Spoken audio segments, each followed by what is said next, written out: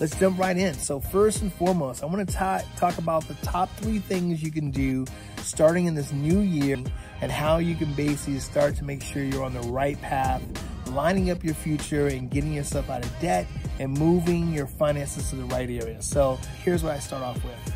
Take a sheet of paper out and write down all of your debts. Get a true understanding where you're at financially. You'll be surprised how much that $20 coming out of your checking account every month or pulling 20 bucks out to go to Starbucks or any of those things start to add up. Now, once you've done that, I want you to divide it up into different categories. The first thing I want you to divide it up as is monthly debt. The second debt is the miscellaneous things that pop up. And then the last debt that I want you to put on there is credit card debt. That's the last column.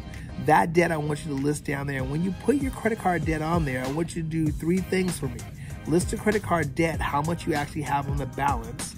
List the interest rate that you have on that credit card. And then list the amount of money that you're spending on a minimum basis to cover the minimum payment every month. Now, once you've done that, this is gonna be your snapshot.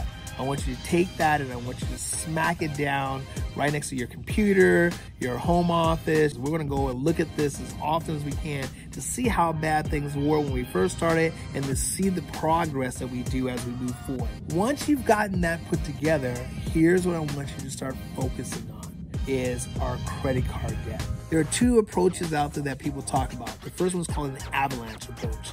It's when you basically look at all of your credit card debt and you basically say, I'm going to take the credit card with the highest interest rate and I'm going to start paying that debt down first. You're paying a larger payment to that credit card debt, and then all the other credit cards, you're paying the minimum payments to it.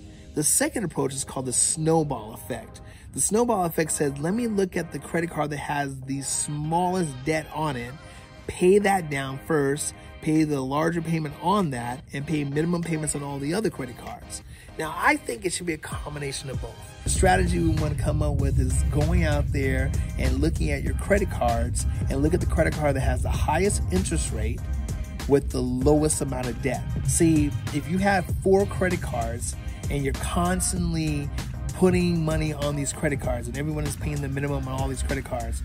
You start out with four credit cards at the beginning of the year and two, three, four months by the way goes by and you're still with those same four credit cards. There's no win. Psychologically, you don't feel like you're making anything and you're not accomplishing anything. But if you follow my approach, here's what ends up happening.